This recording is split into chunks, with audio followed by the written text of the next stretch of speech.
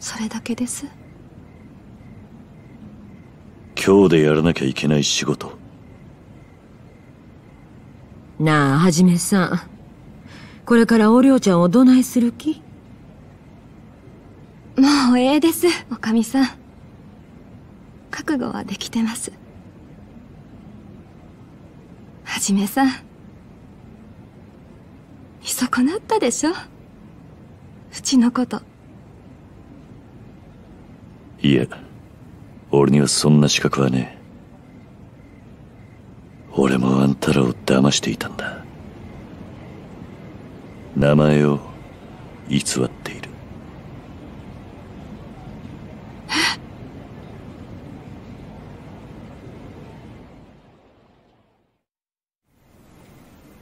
俺の本当の名は坂本龍馬なんだ。えそれって。はじめさんが坂本龍馬？でもそれやったらうちが会うた坂本さんは？そいつは俺の名前を語っている偽物だ。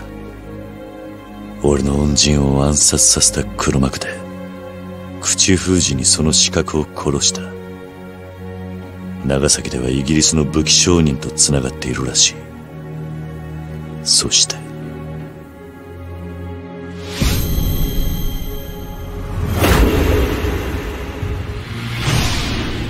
竹地半平太と同じ火傷を背中に背負っていた。でも竹地さんって。わからねえ。兄弟は土佐で腹を切って死んだはずだ。それにあいつにはおやっさんを殺す理由もない。俺にももう何がどうなってんのかわからねえ。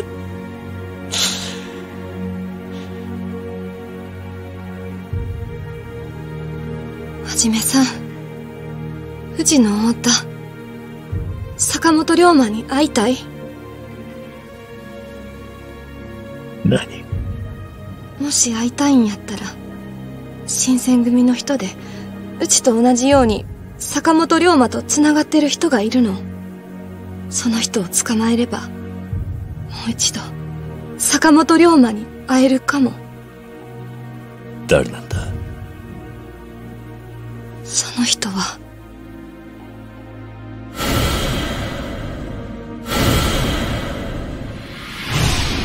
観察役山崎進